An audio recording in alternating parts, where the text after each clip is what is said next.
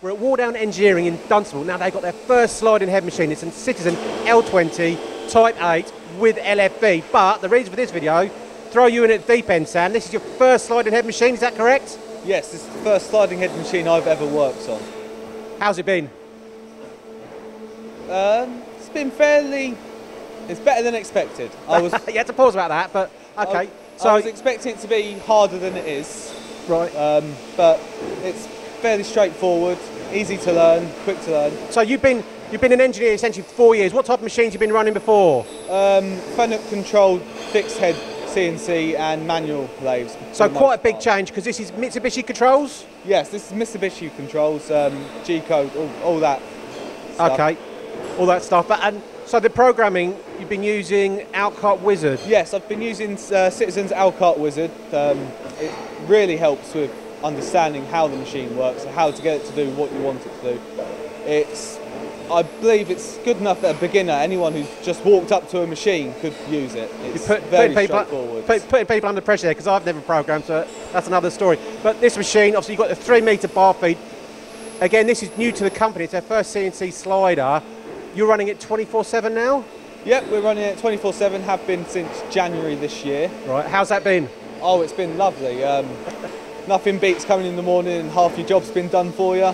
Excellent. Getting twice as many parts out a day now. We're finishing a month's supply in less than a week these Wow. days. So it's been a lot to get used to, yeah.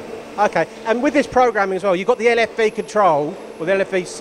What does that mean to you guys?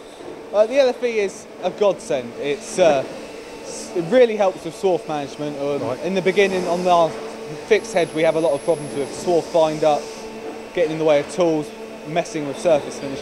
The LFV programmable chip size is lovely. If it's too long, you can just change it. It's uh, Right. And again, you're new to slider, you're new to Mitsubishi controls, you've got the Alkart Wizard. To change that chip control, it's easy to do. Yes, it's uh, exceedingly easy to change. Uh, like I say, the Alkart Wizard helps you with almost everything on the software side of things. So at the moment, well, so far you're enjoying using the machine. Oh yes. Absolutely love it. Now, three metre bar feed, you're doing, this is the L20, it will go up to a larger diameter though?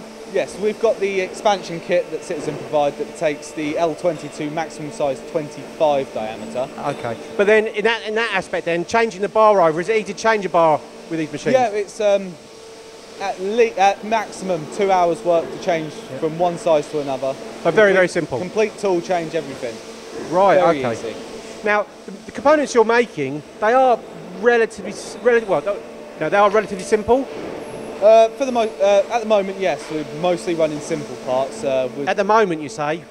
uh, we're aiming to get more complex parts coming in. Any, I'd, I'd like to use the machine to its fullest extent.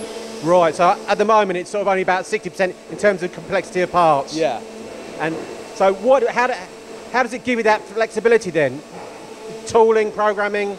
Um, tooling, uh, we've got we've got the um, six, uh, four cross slide power tools, plus the uh, sub spindle powered tools, all capable of doing um, cross axis milling as well as turning.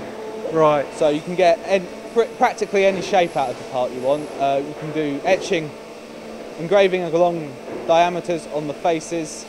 It's um, there's a lot to be used on this machine. that We're not quite using as of yet. Uh, yeah, but you, will- you will be very soon, hopefully. Yes. Okay, so your first experience of a sit and slide head machine, just to finish video, how, how's it been for you then? Oh, it's been a dream. Uh, I couldn't have imagined it being easier than it is. I was expecting, when they first told me we were getting one, I was expecting a lot of headaches, a lot of stress, but it's honestly, it's probably one of the easier machines I've ever used.